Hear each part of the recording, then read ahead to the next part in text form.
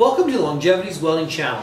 I'm Tim Roble, and today I want to talk to you about plasma cutting basics.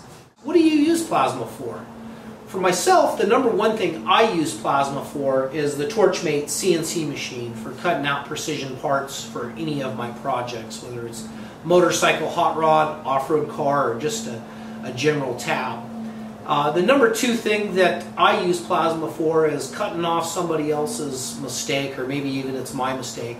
Uh, someone's welds in a trailer hitch and it's uh, poorly welded or poorly engineered. Uh, I'll get in there and surgically remove that unit, clean it up with a grinder, and then start over again. Uh, another thing that we can use plasma for would be to you know, use it as a shear, use a guide. Here you see I have a wheeled standoff and you can rip metal and uh, go ahead and get a nice clean cut on that. Another question I get is, uh, Tim, you know, I've been using this torch for, uh, you know, a couple weeks straight and uh, every day it just becomes a little less efficient in cutting. That's because of your consumable life. Uh, you actually erode the electrode or maybe your nozzle actually starts to get ovaled out. So those are a time change item and here again, when you're doing something maybe like you're cutting off a trailer hitch and you're up in there and you're getting blowback, that's, that's something that you may want to check after you finish that project or start experiencing poor cut quality. Uh, another thing that will cause your consumables to go out is not getting clean, dry air uh, to and through your machine.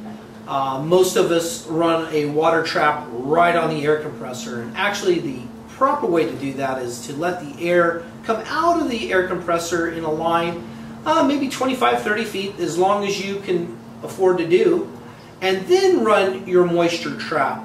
Get that time for that air to come out and cool and start to condense, catch it in the moisture trap, and then run another line to the little micro filter that uh, Longevity supplies with the units. Uh, very good little filter you just you need something to pull out the, the maximum amount of water before it gets to it.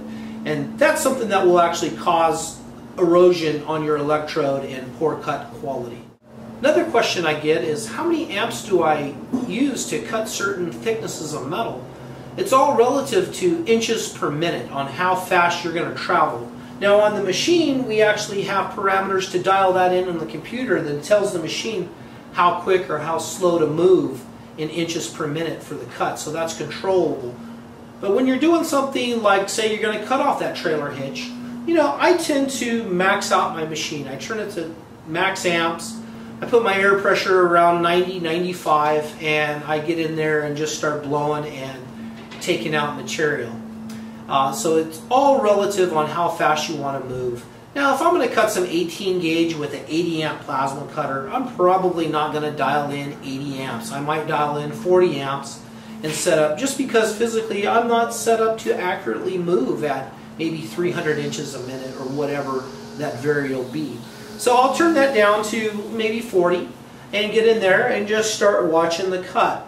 That way I don't experience a ton of dross, uh, which is the crystallized metal on the back side of the cut. A lot of people try to make plasma very complicated.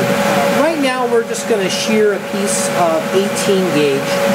So two things I want to deal with. I want to make sure that I have air pressure. I got about 90 pounds dialed in, close enough.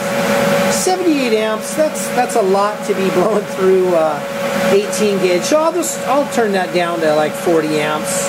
I'll just come close, dial in 38's good. Now we'll go up to the piece and do a cut.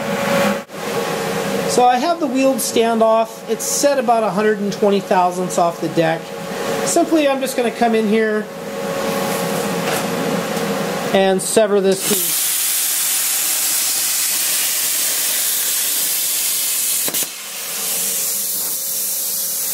And as you can see we get a nice clean cut. There's very little dross on the back side.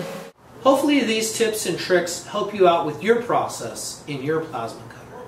Thank you for watching Longevity's Welding Channel. I'm Tim Roble, and I'll catch you here next time.